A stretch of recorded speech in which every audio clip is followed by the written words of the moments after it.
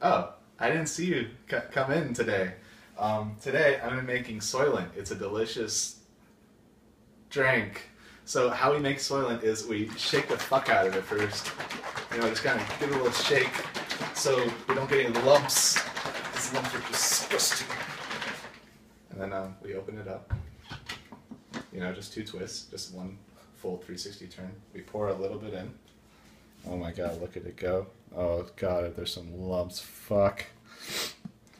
And there you go. That's how you make Soylent. Delicious, right? I know.